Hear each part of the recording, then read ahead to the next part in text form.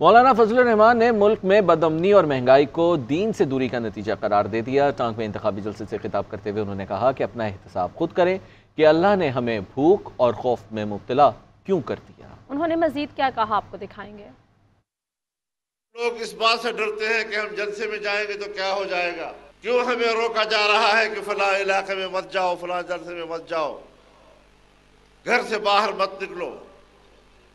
इंतखाबात में भी अवाम के पास के पास मत जाओ कंपेन मत चलाओ, खतरा है तुम्हारी ज़िंदगी को। पाकिस्तान की इमारत को हिलाया गया।